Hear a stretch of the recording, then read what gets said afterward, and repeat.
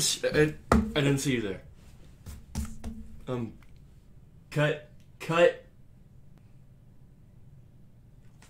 What's up, guys? My name is Shadow, and today I'm gonna be teaching you how to make Welch's wine.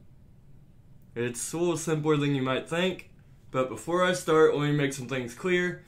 This video is not for people that are under 21. This is for people that are allowed to drink alcohol legally. So, no children allowed. I also want to say that you should drink responsibly and never drink and drive. And with that, let's just go ahead and get into it. You will need sugar. You will need grape juice. You will need yeast. There is, um, what's it called? Wine yeast that they make, but this is regular baking yeast. You can use either or. Um, you need a cup. You'll see what that's for in just a second. And you'll need some measuring cups. I don't know why I bought brand new measuring cups since I already had some, but you never know when you need an extra, I guess. Here we go. You're gonna start by opening up your grape juice, and you want to dump some out.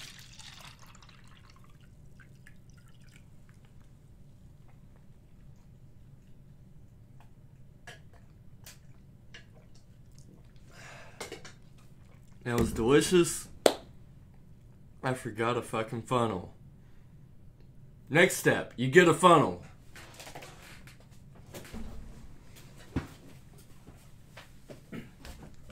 Okay, so never mind. It turns out I don't have a funnel. So don't be like Shadow. Get a funnel before you start. I have funnels, but I have since used them for oiling cars and stuff. And you don't want oil in your wine. So I'm gonna sit here and make a funnel. Ah, it squirted me. It's squirting everywhere. That's what she said. Oh god, it's getting worse. Oh god, no, no, no.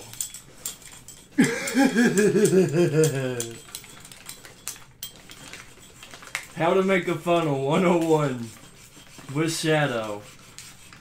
This is why you should buy a funnel. Don't be like Shadow. It's not good things that happen.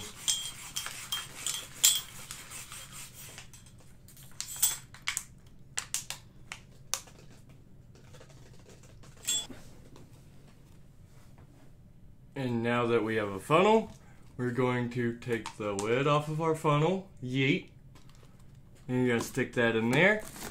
You're to take the lid off this. You're to go yeet. And you're going to pick up your measuring cups. So for the sugar, you are going to want about two cups in here. That's a big ass measuring cup. Yeet. This doesn't have to be perfect or exact. Oh god, I'm making a mess. the things that have happened at this desk, I swear. Alright, one more cup of sugar. A little bit more. Yeah, perfect. Close enough. Dump that shit right up in there.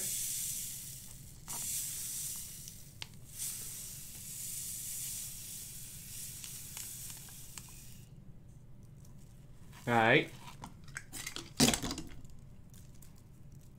I made a mess. I have sugar all over everything. Might as well throw it on the floor at this point. Then you're to take your funnel out. You're to shake all the sugar you have off of you. then what you want to do next is you want to pick this up and you want to shake it really good until all the sugar's dissolved. You want to shake it as good and hard as you can, almost like you're jacking off an elephant or something. Ah.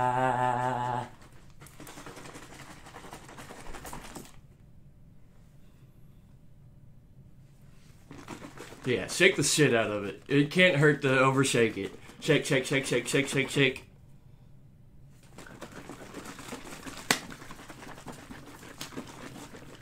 It should be good enough.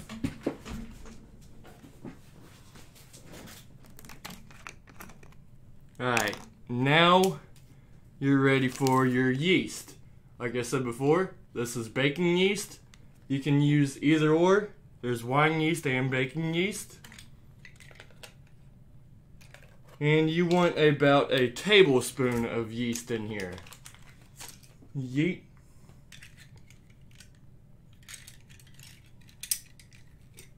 Or teaspoon, I think. Yeah, you want a teaspoon in here.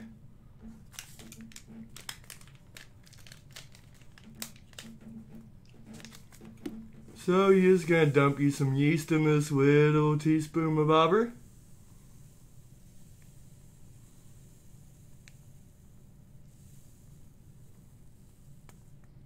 And you just dump it in. You can let it set on top. You don't have to mix it in. And you want to take your lid. And this is very important. Whenever you put your lid on, do not tighten it. Tighten it just enough for it to catch a groove. You want it tight enough so bugs can't get in, but not so tight that air can escape. Why am I so out of breath? And now we are pretty much done with the grape juice. You want to let that sit for about 21 days to one month before you consume this. It will take that long for it to ferment and make alcohol. And I highly recommend you leave it in a cooler or something, or somewhere where it's okay if this spills, because it is possible for this to bubble up and do some weird things. And that's it. So I'm just gonna put that down here for now. And I'm gonna pull this out. Just to show you guys how really easy it is. Everybody thinks making alcohol is like a hard, complicated process or something, but it's really not. Yep.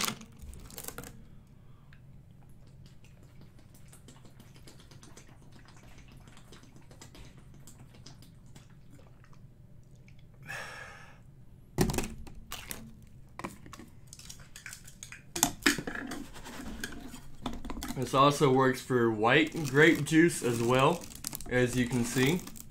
This also works for different size containers.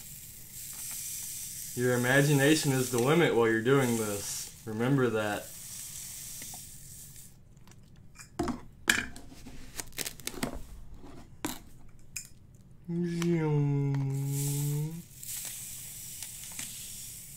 God, I'm getting sugar everywhere. The ants are gonna love me this summer.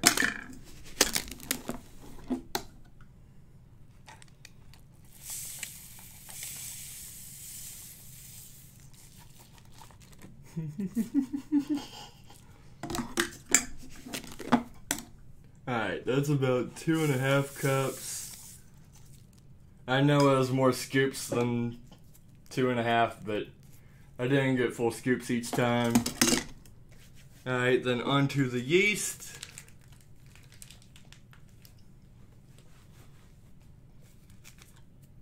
I have sugar all over me. Maybe Shadow shouldn't do tutorials. It's not looking too good. Um, I need a knife. Yeah, there's a knife. Whoa. oh god.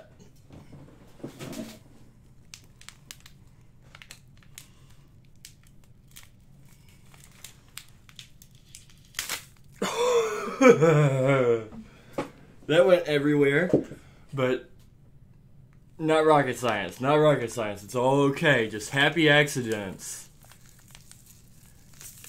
Oh god, it's all on my keyboard. not again. I'm gonna just dump this whole packet in there. And I'm gonna dump the other half of my keyboard. Well, now I have yeast everywhere now too. Um, might as well use that side. I didn't even shake up my sugar.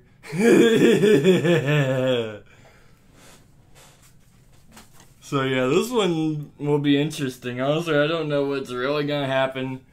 I think it's still gonna work, just not quite as well. Cause I don't think I really want to mix that up now.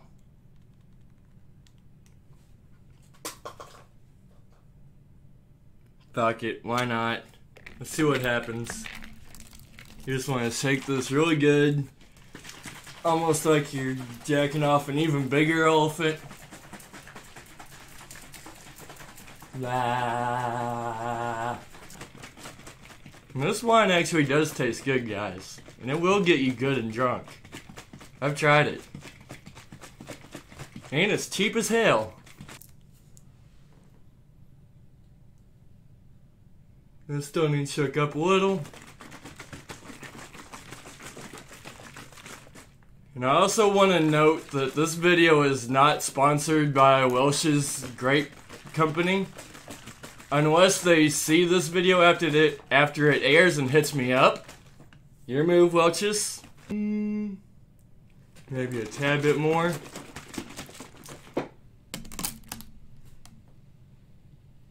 Loosen my lid so bugs can't get in and air can escape. Done.